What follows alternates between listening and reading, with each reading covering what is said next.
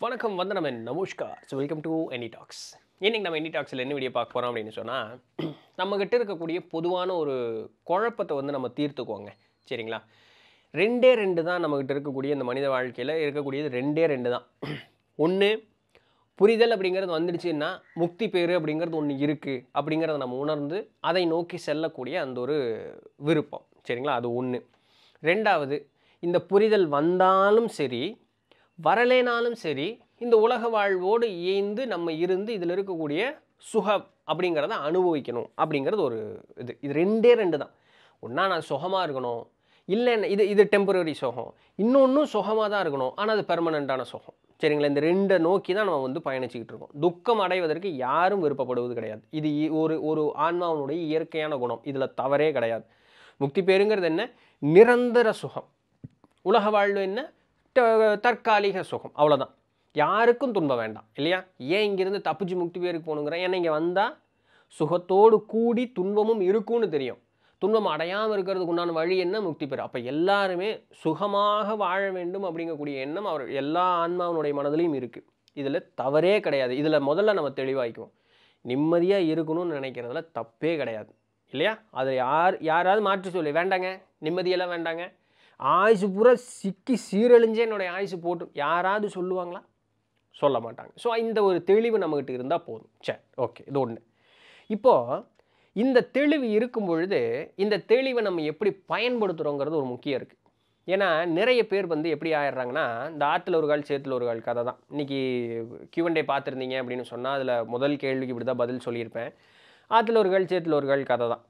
என்ன ஆயிடுது இந்த உலக வாழ்க்கையிலையும் இருக்கணும் அப்படிங்கிற ஒரு விருப்பம். அதே நேரத்தில் முக்தி பேர் போகணும் அப்படிங்கிறதுக்கு ஒரு விருப்பம். இது ரெண்டுமே வந்து நான் வந்து சாதிக்க முடியும் அப்படிங்கிற ஒரு போலியான ஒரு நம்பிக்கை வேறு மனசில். இது அப்படி நடக்காது. அதை நம்ம முதல்ல புரிஞ்சுக்கணும். அப்படி நடக்காது. இது ஒரு போலியான ஒரு நம்பிக்கையும் மனசில் இருக்குது அப்போ அதற்கு நம்ம என்ன ஒரு துணைக்கோளாக நம்ம எதை பயன்படுத்திக்கிறோம் அப்படின்னு சொன்னால் பெரியவர்களுடைய நூட்களையும் பெரியவர்கள் சொன்ன உபதேசங்களையும் நம்ம வந்து எடுத்து பயன்படுத்திக்கிறோம். சரிப்பா. அவர்கள் சொன்ன உபதேசத்தை முழுமையாக கேட்டு உணர்ந்த பின் அதை நம்ம எடுத்து பயன்படுத்துகிறோமான்னு கேட்டால் இல்லை. பெரியவர்களுடைய நூட்களில் சொல்லக்கூடிய எல்லா செய்தியும் கற்று உணர்ந்த பிறகு அதை எடுத்து சொல்கிறோமான்னு கேட்டால் இல்லை. இந்த உபதேசத்தினாலும் சரி இல்லை நூட்கள் வாயிலாக இருக்கக்கூடியது நமக்கு எது சாதகமாக இருக்கோ அதை மட்டும்தான் எடுத்துக்குவோம். சரிப்பா அந்த சாதகமாக இருக்கிறதையா அது எடுத்துக்கிறியே. அந்த சாதகமாக இருக்கிறதையா அது எடுத்து அதுலேயாவது அந்த சொன்னதை சொன்னபடியே செய்கிறேன்னு கேட்டால் இல்லை. அதுலேயும் நமக்கு சாதகமாக என்னவோ இருக்கோ அது மாதிரி தான் புரிஞ்சுக்கிட்டு அதற்கேற்றாற் போல் நம்ம நடந்துக்குவோம்.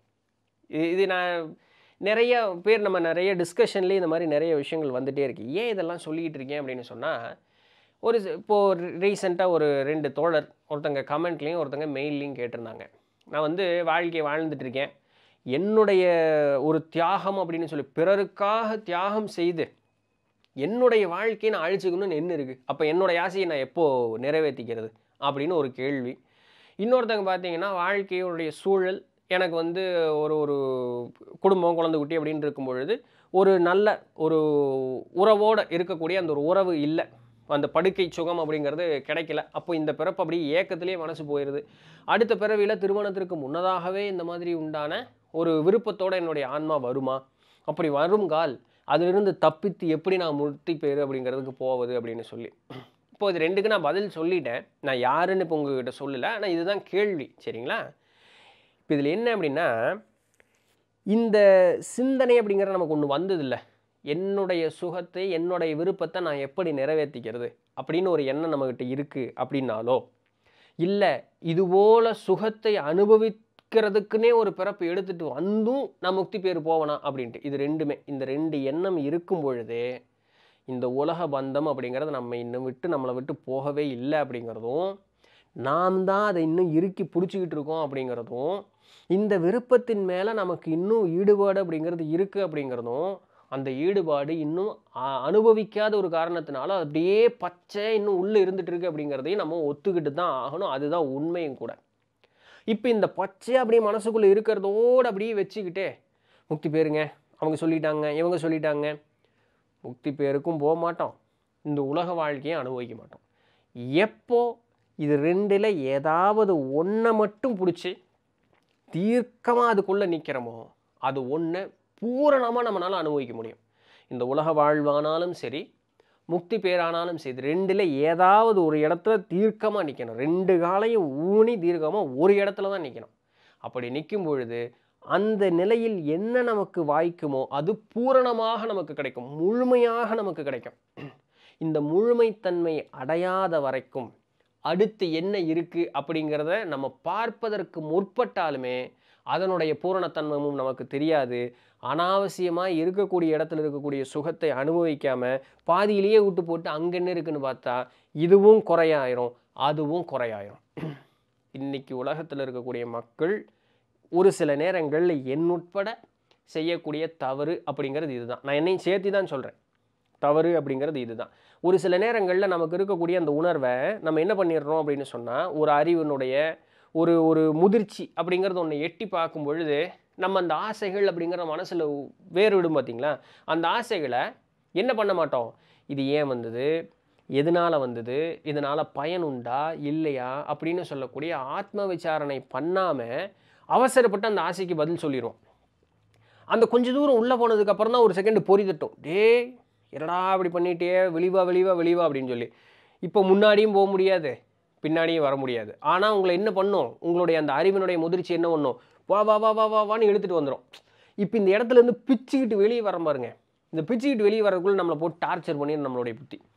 சரிங்களா? இது அந்த சூழல் நம்மளை போட்டு டார்ச்சர் பண்ணிடும் அப்புறம் இதிலிருந்து மீண்டு வருவதற்கு தனியாக ஒரு தனியாக ஒரு ஒரு கம்பார்ட்மெண்ட் ஒதுக்க வேண்டியதாக போயிடும் இதுக்கு பேசாமல் ஏதாவது ஒன்றுலையாவது தீர்க்கமாக இருந்துட்டோன்னா வேலை முடிஞ்சுதா?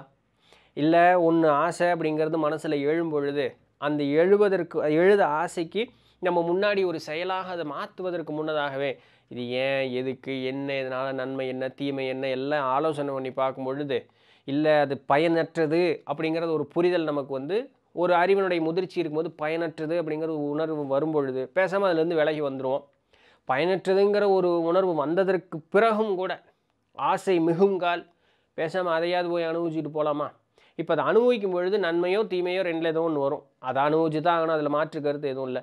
என்ன சொல்ல வரேன்னா எந்த இடத்துல இருக்கிறோமோ அந்த இடத்துல பூரணத்தன்மை அப்படிங்கிறது நமக்கு கிடச்சிதுன்னா அதை விட்டு போட்டு இந்த பக்கம் வந்துடுவோம் ஆனால் என்ன? இதில் இருக்கக்கூடிய ஒரே ட்விஸ்ட் என்ன? இந்த உலகத்தில் ஆசை அப்படின்னு சொல்லுவதற்கு எல்லையே கிடையாது. ஒன்றுட்டா ஒன்று ஒன்றுட்டா ஒன்று ஒன்றுட்டா ஒன்றுன்னு போய்கிட்டே தான் இருக்கும். ஒரு பொருள் வாங்கினீங்கன்னா அந்த பொருள் மாதிரியே இன்னொரு பொருள் இருக்கும். அதுபோல் இன்னொரு இருந்துக்கிட்டே இருக்கும். இது மனித உருவத்திற்கும் சரி இல்லை ஒரு உருவம் ஒரு ஒரு உயிர் இல்லாத ஒரு பொருளுக்கும் சரி ஒன்றை காட்டில் இன்னொன்று வந்துக்கிட்டே தான் இருக்கும். இதுக்கு முடிவே கிடையாது. அப்போ ஏதோ ஒரு கட்டத்தில் நம்மளால் ஒரு நிலையில் பக்குவப்படுத்தி நிறுத்தி தான் ஆகணும் வேறு வழி இல்லை. ஆனால் அதற்கு ஆத்மார்த்தமாக மனதார நம்ம வந்து முயற்சி அப்படிங்கிறது இப்போ இருந்தே எடுக்க ஆரம்பிக்கணும். இது எப்போ முதிரும் அப்படிங்கிறது நமக்கு தெரியாது. இந்த இப்போ பிறப்புலேயே ஒரு பத்து வருஷம் கழித்து முதிருமோ? இல்லை இப்போ ஒரு பத்து பிறவி கழித்து முதிருமோ? அது தெரியாது. ஆனால் முயற்சி அப்படிங்கிறத எடுத்து அதை நோக்கி ஒருட்டாது எடுத்து வைப்பதற்கு ஒரு முயற்சி அப்படிங்கிறது பண்ணும்பொழுது தான் முதிரும். அது எப்போ? முதல்ல நம்மளுடைய மனசில் எண்ணம் துளிர் விடணும். அப்போ இருக்கக்கூடிய இடத்திலிருந்தே சுகத்தை அனுபவித்திருக்கும் பொழுதே அந்த துளிர் விட்டதை வந்து கொஞ்சம் கொஞ்சமாக ஆராய்ச்சி பண்ணணும். இந்த ஆராய்ச்சி பண்ணும்போது அந்த ஏ வேண்டாம்யா இந்த உலக வாழ்வு அப்படிங்கிறது துன்பம் முக்தி பேருன்னு ஒன்று இருக்குது அப்படிங்கும் பொழுது ஏன் முக்தி பேருக்கு போகணும் ஏன் வந்து இது எல்லாத்தையும் விடணும்? இது எவ்வளோ சுகமாக இருக்குது இதை விட்டுட்டு நான் ஏன் அங்கே போகணும் இந்த கேள்வியெல்லாம் கேட்கணும். ஒருத்தர் சொல்ல முக்தி பேரா? அப்படியா? அங்கே போனால் தான் சூப்பராக இருக்குமா? அதை வரேன் வரேன் வரேன். அப்படின்ட்டு அங்கே போயிட்டு அது என்ன அது கடுப்பாக இருக்குது நம்ம பேசாமல் அங்கே ஏன் நிம்மதியாக இருந்திருப்போம் என்னை ஏன்டா கொண்டு வந்து இப்படி நடுத்தருவில் நிறுத்துறீங்கிற மாதிரி ஆயிடக்கூடாது இருக்கிற இடத்துல இருந்தே முக்தி பேர்னா என்ன? அதனால் பயன் என்ன? அப்போ அதனால் அதற்கு உண்டான பயிற்சி என்ன? அப்போ கொஞ்சம் கொஞ்சமாக கொஞ்சம் கொஞ்சமாக கொஞ்சம் கொஞ்சமாக நம்மளை இருக்கிற இடத்துல இருந்தே வளர்த்திக்கணும். அப்போ இருக்கிற இடத்துல இருந்தே வளர்த்தும் பொழுது இப்போ இதில் பியூட்டி பாருங்க. இருக்கிற இடத்துல இருந்தே நம்மளை நாமே வளர்த்திக்கும் பொழுது நீங்கள் இது எல்லாத்தையும் விட்டு போட்டு தான் நீங்கள் அந்த இடத்துக்கு போகணுன்னு அவசியம் கிடையாது. இருக்கிற இடத்துலேருந்தே நீங்கள் வந்து ஒரு முதிர்ந்த ஒரு ஆன்மாவும் மாறிடுவீங்க. நீங்கள் ஆல்ரெடி இருக்கிற இடத்துல இருந்தே முக்தி பேருக்கு போகக்கூடிய அத்தனை தகுதியும் உங்களுக்கு வந்துடும் ஜீவன் முக்தர் அப்படின்ட்டு. ஆனால் இருக்கிற இடத்துல இருந்துக்கிட்டே இருப்பீங்க. செயல் செஞ்சுக்கிட்டே இருப்பீங்க. ஆனால் மனோநிலை அப்படிங்கிறது முழுமையாக மாறி இருக்கும் அப்படி இல்லைப்பா. கொஞ்சம் துன்பமாக தான் இருக்குது இங்கிருந்து என்னால் முழுமையாக வெளியே வரக்கு கொஞ்சம் துன்பமாக இருக்குது ஆனால் முக்தியினுடைய அந்த உண்மைத்தன்மை புரிஞ்சுக்கிட்டேன் இதிலிருந்து விலகுனேன்னா அந்த பூரணத்தன்மை உணர்ந்துட முடியும். எளிதில் அதனால நான் கொஞ்சம் விலகலான்னு முடிவு பண்ணுறேன் இது தீர்க்கமான முடிவாக பேசாமல் வெளியே வந்துடணும் வெளியே வந்துட்டால் அந்த மாதிரி போயிடலாம். இவங்க இ- இவங்களும் ஒரு வகையான ஜீவன் முக்தரான என்ன? யோக நெறியை பின்பற்றி அவர்கள் தனியாக போகக்கூடியவர்கள். இந்த ரெண்டு பேரையுமே நம்மளுடைய கலாச்சாரம் பார்த்துருக்கு. நம்மளுடைய கலாச்சாரம் நமக்கு உருவாக்கி தந்திருக்கு. இந்த ரெண்டு பேர்த்தையுமே. இருக்கிற இடத்துல இருந்தே நீ ஞானியாகு இல்லை எல்லாத்தையும் விட்டு போட்டு போய் ஞானியாகு. இது ரெண்டு பேருமே நம்மளுடைய கலாச்சாரத்தில் உண்டு. இந்த ரெண்டுமே எப்படி நடந்தது? ஏதோ ஒன்றை பிடிச்சிக்கிட்டாங்க. பிடிச்சதில் தீர்க்கமாக அவங்க இருந்தாங்க. அந்த பிடிச்சதுக்கப்புறம் அந்த குழப்பம் அப்படிங்கிறது அவர்களுக்கு இல்லை. திருக்குறளில் இருக்கல குரலை மறந்துனேன் செஞ்ச காரியத்தை வந்து தீர்க்கமாக செய் செய்யறணும்னு இறங்கினதுக்கப்புறம் யோசிக்கிறதுல அது ஒரு பயனுமே கிடையாது. இல்லையா? ஸோ இந்த குழப்பமே வேண்டாம். எனக்கு எனக்கு வந்து இங்கே சாதிக்கணும்னு விருப்பம் இருக்குது பேர் புகழ் அந்தஸ்து உண்டு உறங்கி சுகித்து கிடப்பதில் எனக்கு அதிகமான விருப்பம் இருக்குது பேசாமல் அதை அனுபவிங்க. முழுசும் அனுபவிங்க. திரும்பவும் சொல்கிறேன் முக்தி பேர் வாய்க்காது. இது போல் நாலு பிறப்பு பத்து பிறப்பு எடுக்க தான் போகிறோம் இல்லைன்னு இல்லை. அட்லீஸ்ட் இருக்கிற சுகத்தையாவது நிம்மதியாக அனுபவிக்கிறீங்கள அதையாவது பண்ணுங்க. ஒரு காலத்தில் கண்டிப்பாக இதுவும் வெறுக்கும். இதை விட்டு போட்டு நம்ம போகிற இடத்துக்கு கண்டிப்பாக போக தான் செய்வோம். அப்படி இல்லைங்க. வேண்டாங்க. அப்படின்னு சொல்கிறீங்கன்னா பேசாமல் என்ன முக்தி பேருக்கு போனோமோ அந்த இடத்துக்கு போயிருங்க. அதுக்கு போகிறதுக்கு முயற்சி செஞ்சுக்கிட்டு இதை நினச்சிக்கிட்டே புலம்பிக்கிட்டே இருக்கக்கூடாது. அப்போ உங்க அப்போ இவங்க தான் ஆற்றுல ஒரு கால் சேத்துல ஒரு கால் கேரக்டரு இந்த கேரக்டர் இன்னைக்கு நிறைய பேர் உண்டு. இந்த கேரக்டர் சொல்கிறத கேட்டு இப்போ ரெண்டு இடத்துல இருக்கிறவங்களும் அவங்களுடைய நிலை குழப்பி போயிடுது அவங்களுக்கு கம்ப்ளீட்டாக சரிங்களா? ஸோ யார் எந்த இடத்துல இருக்குமோ அவங்க தெளிவாக நான் சரியாக தான் ஏன் இருக்கேன் அப்படின்னு சொல்லக்கூடிய அந்த ஒரு மனோநிலை அவர்களுக்கு இருந்தது அப்படின்னு சொன்னால் நிம்மதியாக அவங்களுடைய பயணத்தை அவங்க மேற்கொண்டு இருக்கலாம். இதில் எந்த விதமான மாற்று கருத்தும் இல்லை. இருக்கிற இடத்துல நிம்மதியாக இருங்க. ஆகத்தீசனார் தன்னுடைய ஆறேழு தந்தாதி தான் நினைக்கிறேன். அந்த நூலில் சொல்கிறார் ஒரு கார் ஒரு காரியத்தை நீ விடணும்னு விருப்பப்படுற. இல்லையா? ஒரு காரியத்தை நீ விடணும்னு விருப்பப்படுற. நீ என்ன பண்ணுற ஆனால் அது உன்னால் இப்போதைக்கு விட முடியல. இதை விட்டுட்டு போனால் நான் ஒரு நல்ல ஒரு முன்னேற்றம் வரும்னு உன்னுடைய மனசில் ஒரு எண்ணம் எழுந்துடுச்சு. நீ என்ன பண்ணு? செய்கிற காரியத்தை செஞ்சுக்கிட்டே இரு. ஆனால் அந்த காரியத்தை விடணுங்கிறத மனசில் ஆழமாக பதிய மட்டும் வச்சுக்கோ. ஆனால் நீ சராசரியே இரு. உன்னை துன்பமெல்லாம் படுத்திக்காத. செய்கிறத வலுக்கட்டாயப்படுத்தி நிறுத்தவும் செய்யாத. நீ செய்கிற காரியத்தை செஞ்சுக்கிட்டே இரு. சரிங்களா? ஒரு கட்டம் வரும். அந்த ஒரு கட்டத்தில் நீ ஒரு செகண்ட் இப்படி யோசித்து பார்த்து திரும்பி பார்த்தேன்னா நீ எதை விடணும்னு நினச்சியோ அதை நீ ஆட்டோமேட்டிக்காகவே விட்டுருப்ப. ஆனால் அது நீ விட்டுட்டே அப்படிங்கிறதே உனக்கு தெரியாது. இயற்கையாகவே அது உன்னை விட்டு போயிருக்கும். இப்படி தான் இதுதாங்க உண்மையாலுமே முக்தி பேரடைவதற்குண்டான வழி. இதை நம்மளை நாமே கட்டாயப்படுத்தி கொண்டு போகிறதுங்கிறது ஒரு வழி. அது கொஞ்சம் துன்பம் தான். நல்ல ஒரு குரு இருந்து ஒரு புரிதல் இருந்தால் தப்பிச்சுக்கலாம். அப்படி இருந்துமே சிக்கினவங்களாம் நிறைய பேர் உண்டு. அப்படி இல்லைன்னா புரியுது என்பால் கொஞ்சம் ஸ்லோவாக தான் போவோம். பட் இருந்தாலும் பரவாயில்ல. பூரணத்தன்மை அடைஞ்சு அந்த இடத்த விட்டு நம்மை அறியாமல் நாமே அப்படி விலகி நம்ம நின்றுக்கிட்டு இருப்போம். இறைத்தன்மையோட எளிமையில் போய் சேர்ந்துடலாம் இதில் இந்த ரெண்டில் எதை நீங்கள் பின்பற்றீங்க அப்படிங்கிறத பார்த்துக்கிட்டிங்கன்னா போதும். பின்பற்றணும் அப்படின்னு இறங்குனதுக்கப்புறம் சந்தேகம் வரக்கூடாது. அது என்ன இது என்ன அது வரக்கூடாது. உலக சுகமாக அனுபவிங்க. முக்தி சுகமாக அனுபவிங்க. ரெண்டுக்கும் முயற்சியும் பயிற்சியும் தேவைப்படுது. பழகணுங்கிறது தேவைப்படுது. எதற்கு உங்களுடைய பயிற்சியும் முயற்சியும் பழக்கமும் கொடுக்குறீங்க? உங்களுடைய எனர்ஜி நீங்கள் எங்கே ஸ்பெண்ட் பண்ண போகிறீங்கிறத தீர்க்கமாக முடிவு பண்ணிக்கங்க.